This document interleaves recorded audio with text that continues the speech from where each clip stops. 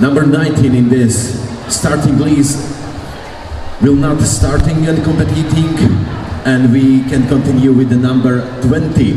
Number 20 is the last duo in this category and this is these majorettes are from team from Slovakia, from team Kordovanky from City Riots, Klara Fuskova and Barbara Dolnikova.